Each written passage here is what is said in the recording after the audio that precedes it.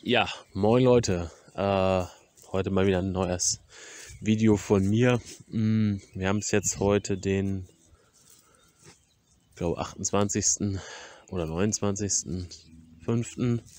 Ähm, genau, wir stehen hier im Mais, äh, Strip-Till Mais.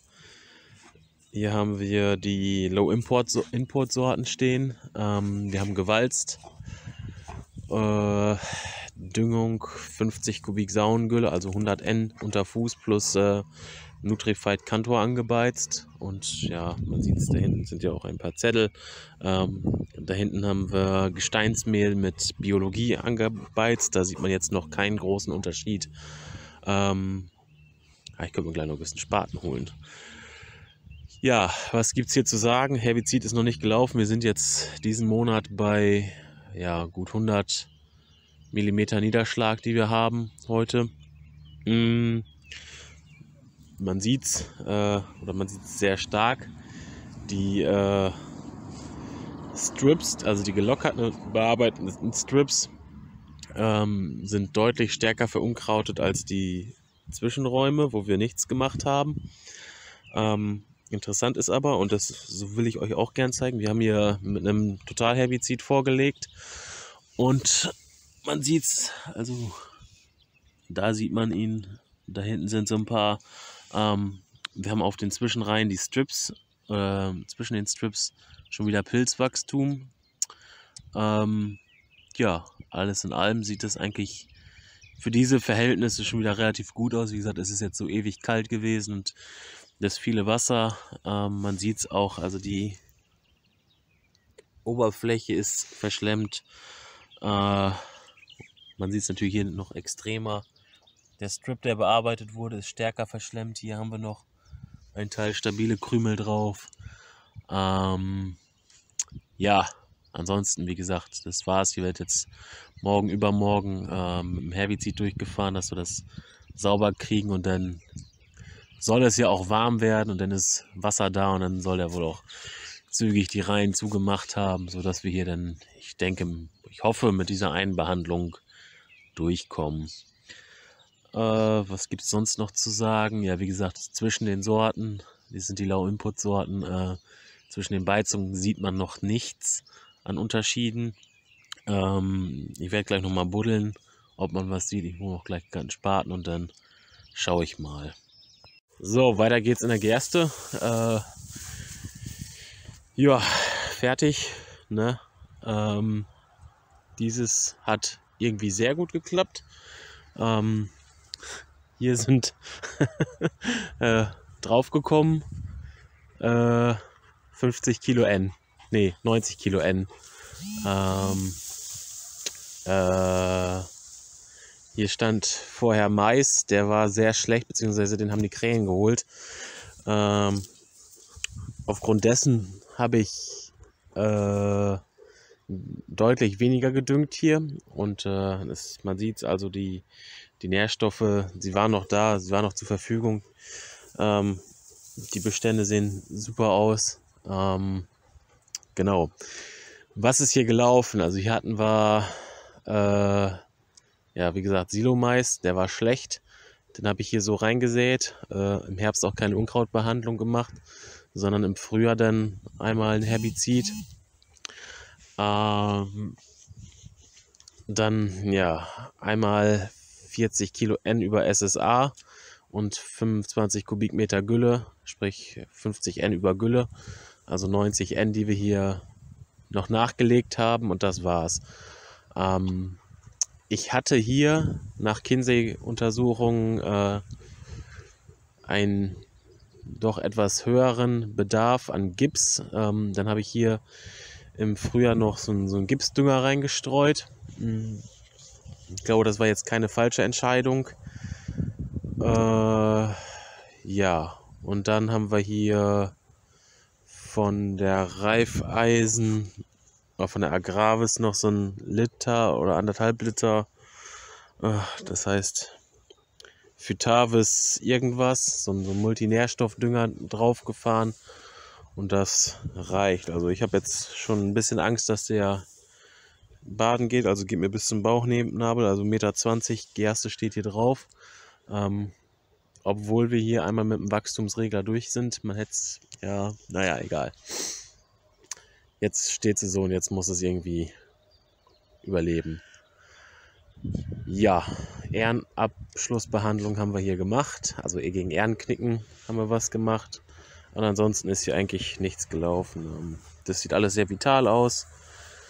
Ab und zu ist der ein oder andere Spier Ackerfuchsschwanz, der hier durchkommt, oder Ackergras vom letzten Jahr, war Vorfrucht Mais war. Hm, aber das ist alles nicht so tragisch. Ähm, ja, hier werden wir dann hochkant dreschen und dann wird hier sofort die Zwischenfrucht hinterher gedrillt, die Sommerzwischenfrucht. Und dann kommt hier im Herbst Weizen hin in Direktsaat, in die Zwischenfrucht, so wie auf der anderen Fläche. Man sieht es hier, wo es ein bisschen schlechter ist, da kommt der komische Kerbel, dieses alte Teufelskraut. Äh, da hatten wir noch einmal nachgelegt, aber das ist teilweise hat man auch nicht mehr überall erwischt. Man sieht es, leicht unhomogener Standort, aber das passt eigentlich schon. Jo. Ja, äh, weiter geht's. Ähm, naja, eigentlich sollte es Weizen sein. Äh, man sieht, es geht langsam im Acker Fuchsschwanz unter, Trespe. Äh, ach, scheiße. Ähm, genau, hier war die Fläche. Hier haben wir kein Glyphosat vor der Saat angewendet und äh, auch kein Herbizid gemacht. Hier war nur der Roller Crimper unterwegs und äh, ach du Scheiße, ich glaube, wir machen das noch tot. Äh, ja, hm. semi-optimal will ich es mal ungefähr nennen.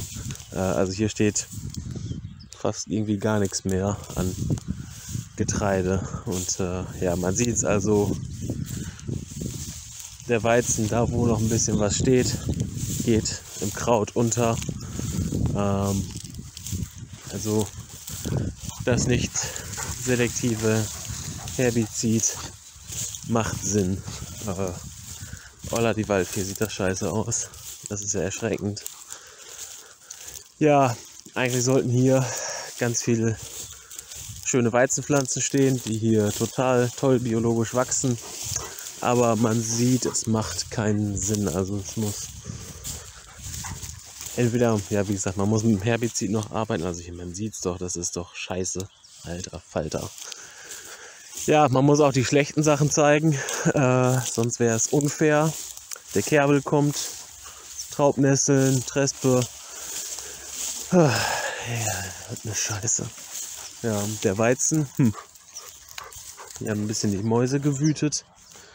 Aber das ist ja überhaupt eine Vollkatastrophe. Ja, auf jeden Fall so geht's nicht. Das ist, äh, da muss ich noch mal ein bisschen dran probieren und dran üben. Ähm, teilweise wird es wieder ein bisschen besser. Da geht es dann mit dem Weizen. Aber hier kommt jetzt ein bisschen Roggen durch. Hm, was eine Wüste.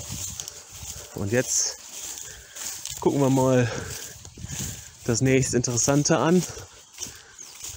Und äh, wie groß das Konkurrenzproblem überhaupt ist.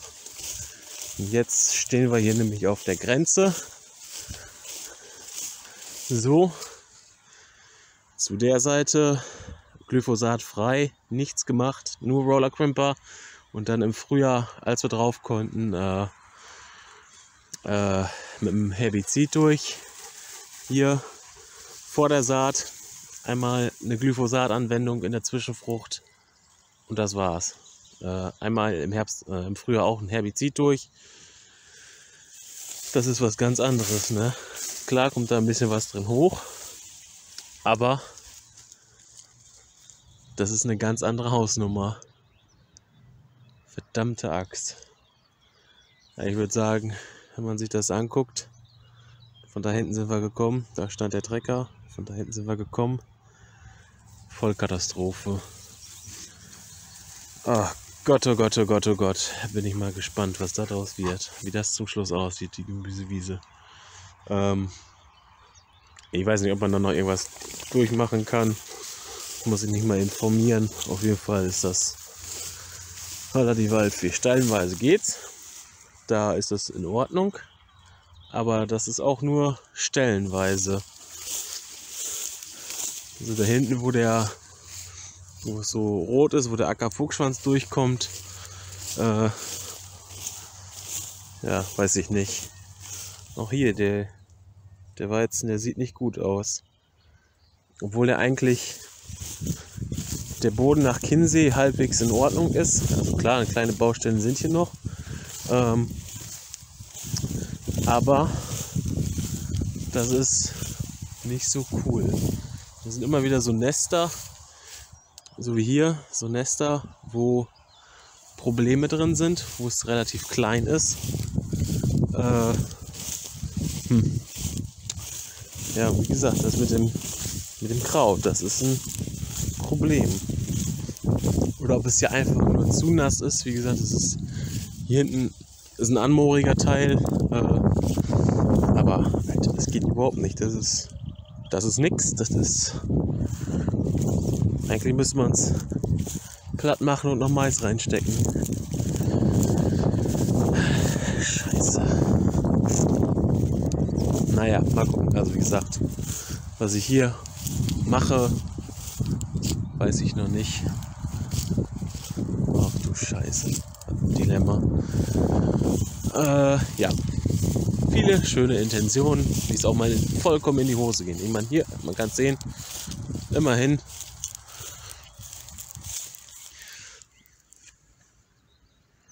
Wir tun was für die Insekten.